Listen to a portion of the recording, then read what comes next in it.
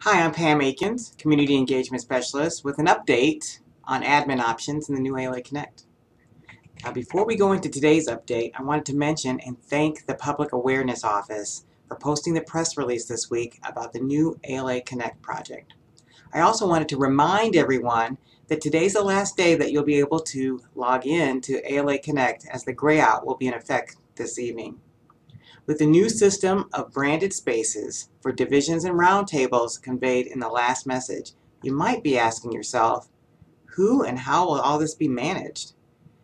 Now there are two levels of admin in the new ALA Connect, community or group admins and the unit level admin.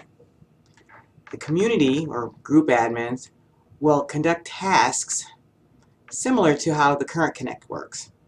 Special training tracks, videos, and documentation are being set up during the grayout to equip admin with the rights and the know-how so that way they can post announcements on the group homepage, post links to Google Docs or other collaborative tools or chat sessions on the community home, as well as tweak their Connect homepage as needed where the mission and other information is posted assist users in organizing files uploaded within the site's repositories, and much more as we roll out in future phases and deploy new modules.